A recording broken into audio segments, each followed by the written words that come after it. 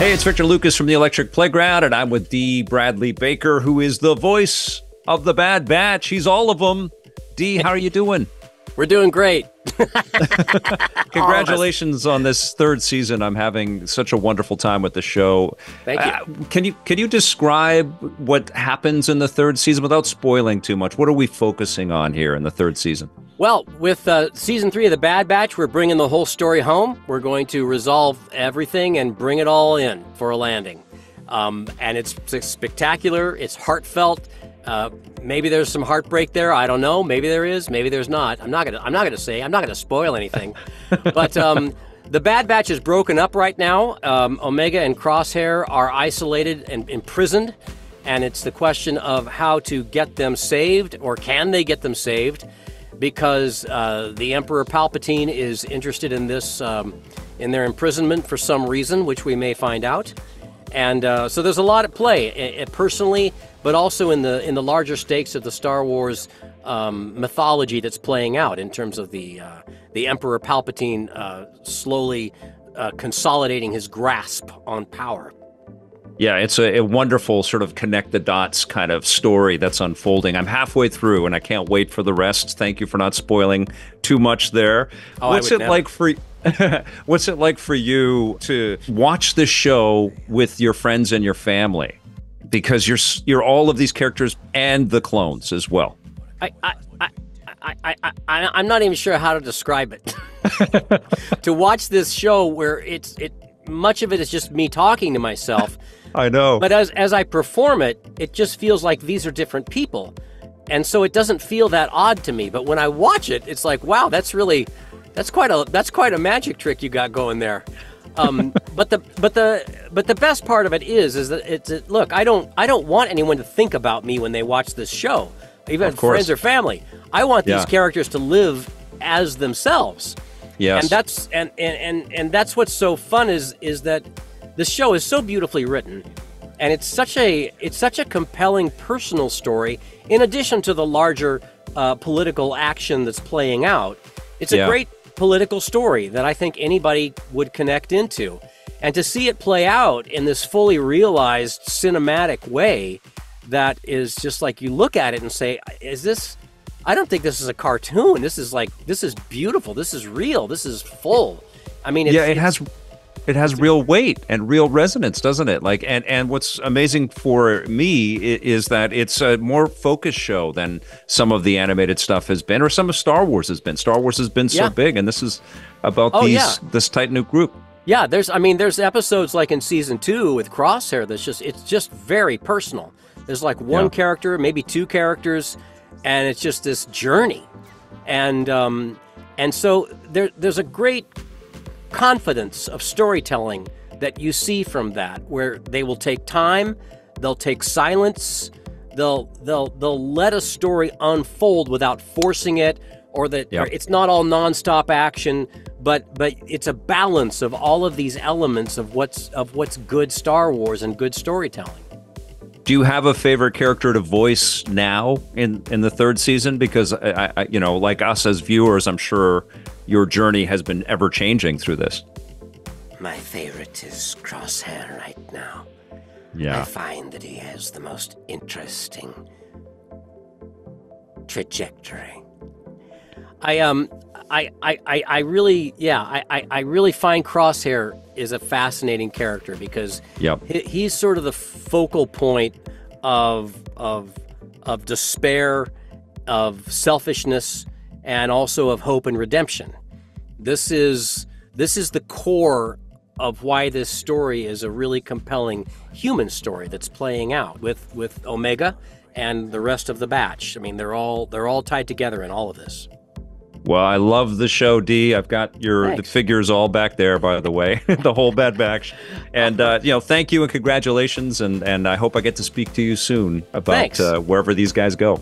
I hope so. It's uh, it's it's it's fantastic, and I'm very very excited for everyone, fans, and everyone else to see the final conclusion. of Yeah. Bad Batch.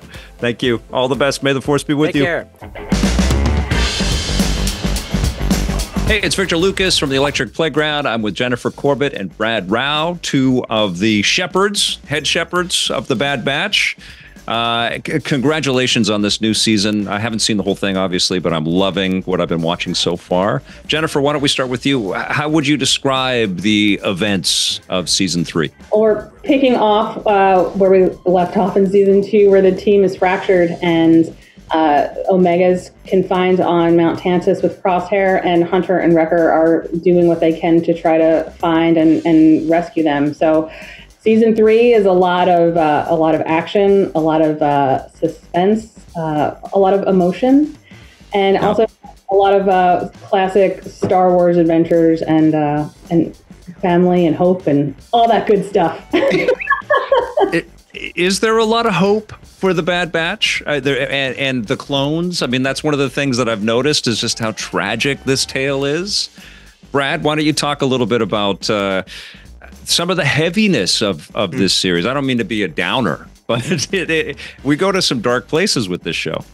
We do, and this is our darkest season yet, for sure. I mean, one Yeah. thing we like to say is that when things get the darkest, the smallest bit of hope can shine the brightest, and that Ooh. sometimes that would be our, you know, our divining rod through through an episode. Because yeah, we we want the tension to be extreme. If if it's going to be scary, we want it to be as scary as possible. But we don't do that just to, you know, get someone to give a reaction. We're trying to put our important characters up against these crazy odds so that if we're Yeah. doing our job right, you're not sure how they're going to get out of it or how they're going to resolve things. And, you know, there's always hope at the end of the day.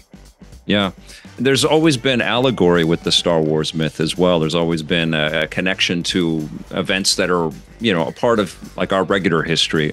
Jennifer, was there something tied into the mythology, into the storytelling of uh, the Bad Batch season three that echoes things that exist in our real world? Well, I always come at it from like a parent perspective of uh, Hunter look, trying to find his kid and and uh, and willing to and what you do to protect your family. I guess Right. is actually that and. There's a lot of stuff in season two that we were teeing up, but again, the loss of Tech that they're dealing with throughout season three, I think it's something people relate to because everybody experiences loss in a different way. It's part of part of the human condition, human process, um, and how each character deals with that differently. And um, you know, again, what Brad was saying, it's it's a family unit, it's a it's a family dynamic, but this is a dark time in the world, and they have to count on each other and lean on each other because that's really how you're going to get through some of these situations. And something you know, I think I I relate to. So.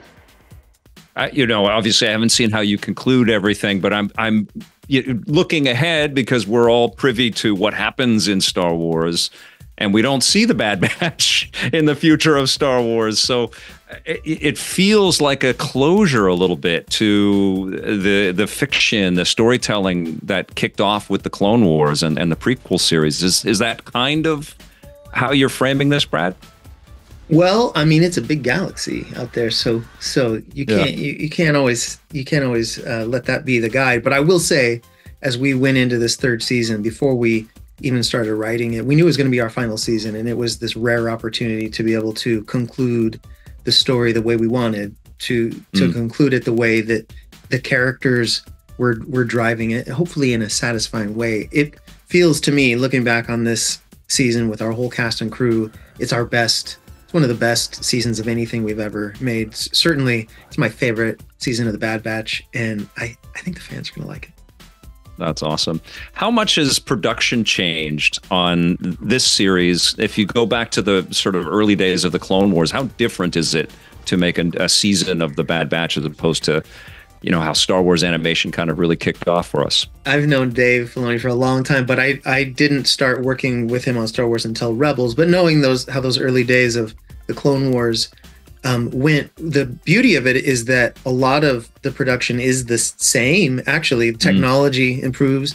You know, people come and go. A lot of the same team members, vibrant members of our team in Lucasfilm Animation, are still there as supervisors and pushing, you know, pushing these ideas forward. And we always have Dave, as busy as he is, he's always, you know, there to guide us and push us in the right direction. Sometimes some tough love. long day. It's tough love, but we love it. We're always trying to to carve out the best stories we can. All that being said, the it's pretty similar the way that everything is set up. It's just, mm. you know, we're we're always improving and trying to push ourselves as we go. The tools get better, but the craftsmanship is the same. That's a pretty good way to say it. Oh, okay. All right. Uh, Jennifer, what's it like to, you know, write with the, the constraints like this and to conceive and to put stories together knowing there's kind of brackets around all of it? Is it is it liberating or is it constraining? What's what's it like for you? Well, we're lucky enough that where we are in the timeline, we have a lot of room to to play around, and I never really feel like we were told don't don't do this. It's more of uh, if we brought something up, we'd be like, well, let's look let's look into that and let's explore it. Um, because the, the, story group keeps us honest on you know the the grander Star Wars lore. But again, every story that we tell, we try to, and it sounds strange, but we try to take the Star Wars out of it and. Mm. say what what are we trying to say? What are we trying to do? And then we sprinkle in kind of like the star wars into it. So it's more about again the personal story and our characters and this this family unit and the experiences and challenges that they go through yeah, this is a very different show, and in much the same way that Andor, I think, is a very different show from a lot of what we recognize around Star Wars. Uh, Brad, what what do you say to those fence sitters because uh, you've been around the, the mythology now for a long time and we've been watching it for a long time. I love this show, and and one of my favorite things about it is that it, it feels Star Star Wars, but not like overtly Star Wars. It also feels very personal and focused, which I relish. I think it's just wonderful. But what do you say to get people to to take the, the leap and jump into into the Bad Batch? Yeah, I mean, I'm always telling people check to check it out. The interesting thing, um, a lot, I think a lot of people that are sitting on the fence, like you're suggesting, feel like, well, I haven't watched all the seasons of the Clone Wars and I haven't watched the Rebels, but um, stealing a, an awesome line from Jen from something way back when, you don't you don't have to watch all that to enjoy Bad Batch because Omega, she never watched the Clone Wars. She didn't know what's going on. And she's this right. great point of view, stealing from Jen, sorry, Jen. She's this great point of view into the Star Wars universe. And, uh, you know, we've had people tell both of us, and we've talked to, you know, our cast, a lot of people have said the same thing to our crew members that their kids didn't watch anything and they started watching Bad Batch and they love it. And then they've gone back and explored some of the other shows. So it's a it's really a great series to to get started on.